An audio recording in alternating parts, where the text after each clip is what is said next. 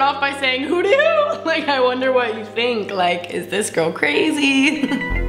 For today's video, we're gonna be jumping in to my best and worst purchases in my 20s thus far. So I was born in 94. Where my 90s babies at? So I just turned 25 last month, but I have been told that I look very young for my age. Last week, I went to my local pizza place and I was at the bar and the guy next to me asked me what high school I went to. And I was like, I have a business degree, sweetie.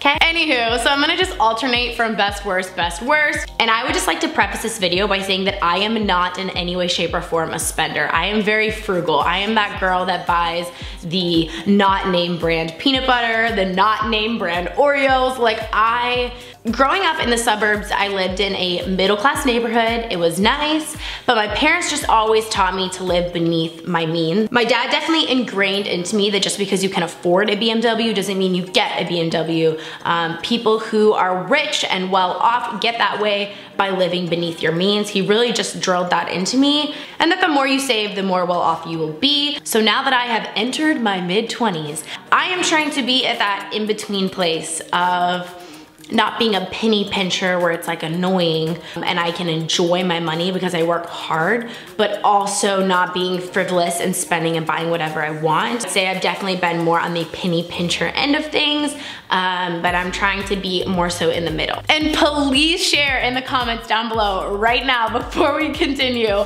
what your worst purchase of your life thus far has been. Whether you're a teenager or in your 50s, whatever it may be, let us know. We're all friends. There's no judgment here. I'm just curious, like if it's a purse, if it's a car, uh, I don't know. I just wanna know. So yeah, okay, I'm nosy.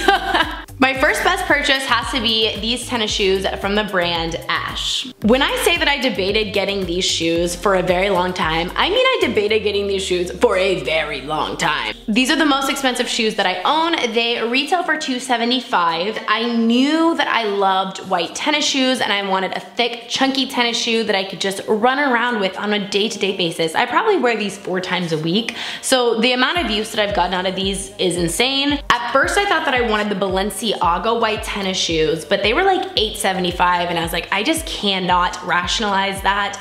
Um, so I found a couple like similar ones that were in different price points, some Puma, some Nike, some Ash, different brands, and I like pulled my friends and I'm like, which one's the best, which one's the best? And they're like, go for the ones that you want. So um, I kid you not, I spent five months debating if I should buy these tennis shoes for myself. So I got them and boy am I happy that I did because they're genuinely the best, best quality and I, like I said, I wear them literally all the time. What I did do, however, to make me feel better about the purchase is I waited for Bloomingdale's to have a sale. They have a sale where every 100 you spend, you get 25 or something like that. So I purchased like something else for $25 and then I got $75 off. So I actually ended up purchasing these for $200. Now, for my worst purchases, one of them hands down has to be my Sony a5100 camera. I just looked it up on Best Buy and it says that it currently retails for $449, but I swear I paid more. And so I'm wondering if the price has gone down because there's new models that have been released. I'm not sure. But basically I bought this camera as a secondary vlogging camera camera. For the most part, I film on my Canon 70D, which I absolutely love. Um, but anywho, I've got this for going on trips, maybe just like a little vlog here and there, things like that. Um, but my biggest issue with this camera is that it overheats like crazy. I swear I film with this thing for literally 10 minutes and it's like overheated and then it just shuts off. Imagine stopping your work every 10 minutes. It's extremely frustrating and I do not recommend this camera to anyone. Personally, I would recommend the Canon G7X, which I should have known. I'm a Canon girl through and through. I don't know why I swapped over to this. It was a mistake, but if you are looking to maybe start a YouTube channel or you just want like a smaller starting camera for anything, uh, the Canon G7X I've heard fantastic things about. So yeah, okay. Next, let's talk about a really great thing that I love. This is so freaking random. You're like, India, what is this? Great question. This is from the brand Port and Polish. No, is, none of this is sponsored. Um, this is a pill dispenser. I think I'm a grandma. Like, this is how you know. so this is just a really cute pill dispenser that you can leave out on your nightstand or in your bathroom and it just looks cute and it's not like, you know, like an ugly grandma pill box, you know what I mean? So yeah, um, this one's great. It has a little mirror and then um, just little slots for you to put your medicine for each day of the week and um, vitamins, anything like that. And it's really, really helpful. I used to have a medication that I had to take every other day and I would get confused. Like, wait, did I take it last night? And then finally I just bought this um, and it's just been so, so helpful. So yeah, it's like $20.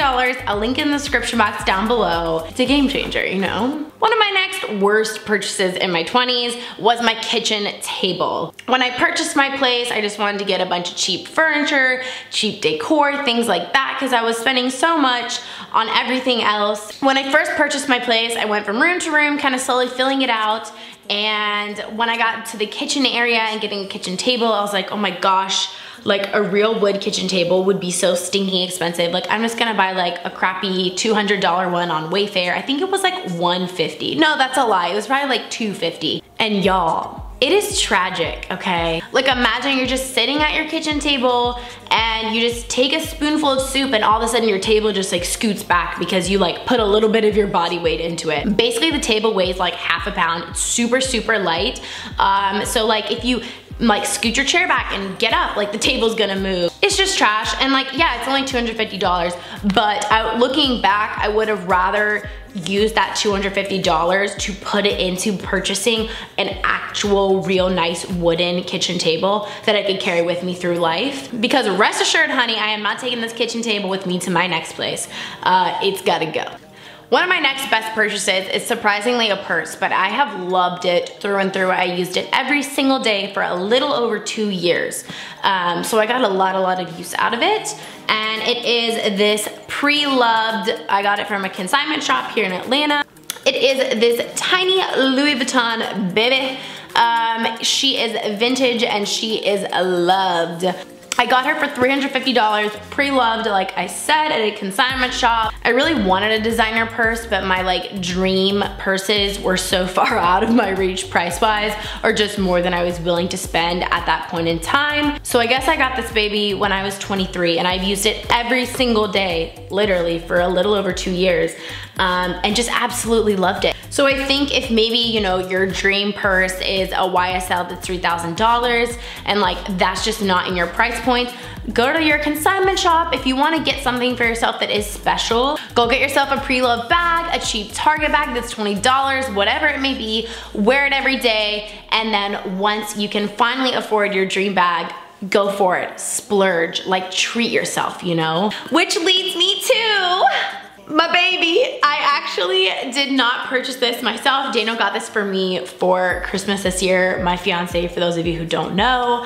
Um, and I was just in shock. I have thought about and looked into getting this bag for at least a year, um, but just couldn't quite commit to it and he went ahead and like splurged for me. And I'm just so thankful. Not because like it's a really nice expensive bag but because like he knew that I wanted it for so long. I just couldn't quite get myself to treat myself. I was just like no like I can't rationalize this. And he helped to absolutely spoil me and it's just so sweet. So yeah it's my baby. I'll show it to you one more time just in case you know just in case you wanted to see her again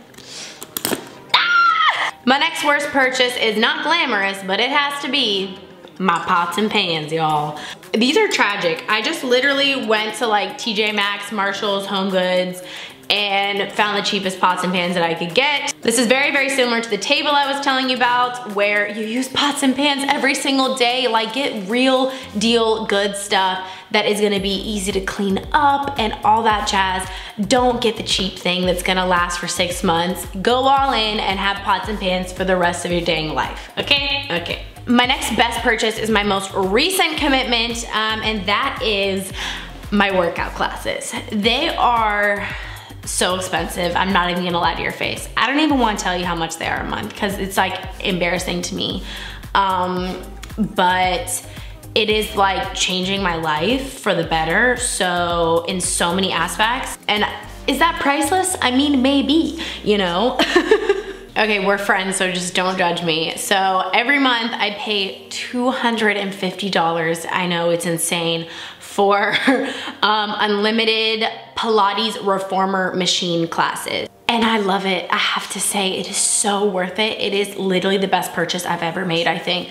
And I'll give you three reasons why. Number one, when I'm spending that dang much on working out, rest assured, I'm gonna work out. And they also charge you, I think it's like $15 if you don't show up for class um, that you signed up for. So you know my butt is getting out of bed, rain or shine. Reason number two is that why is my finger, why are my fingers so far apart? You would have thought I would have been like, but I did like, Reason number two is that I have gotten into a better schedule for my life. Uh, I take my class every morning at 8 a.m. so I am done by 9 something in my car, back headed home, and I can start work at 9.30. Uh, so it's really gotten me on a more specific schedule every single day because working from home for myself, it can be very easy to say, oh, I'll do that in 30 minutes. Oh, I'll work out at the end of the day.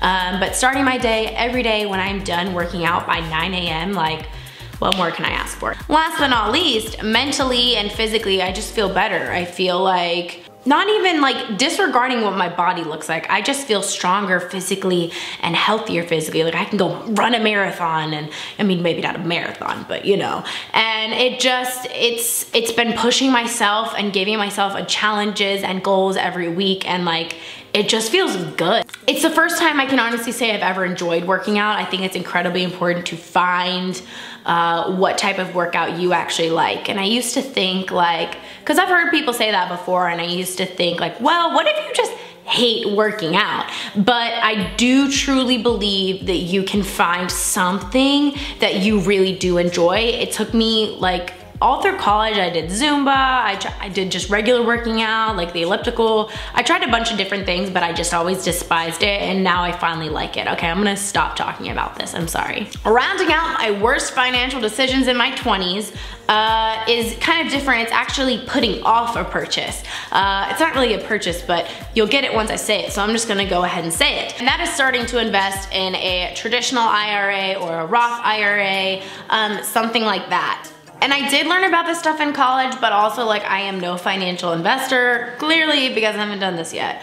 Um, it's something that I want to talk to Daniel about, talk to my dad about, talk to my friends about. Some friends, if like they put in a thousand, then their company that they work for will match it and also put in a thousand. Like I don't have something like that. Um, it's all by myself and I think I just haven't quite had the, the discipline to set money aside uh, for this and it's I, I, regret it because I do have money in savings that I could easily put into that and I'm not really sure why I haven't done that yet. I think I just, whenever I think about it, I get overwhelmed and I'm like, well, I don't even know what that is fully. Do I really understand what that is? Like, I don't really know like how I would even get a Roth IRA. Like, do I go to my bank? Like, I don't know how it works.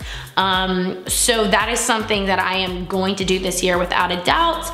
Um, I want to max out a Roth IRA every single year for my retirement for the future. Or there's something called a 401k.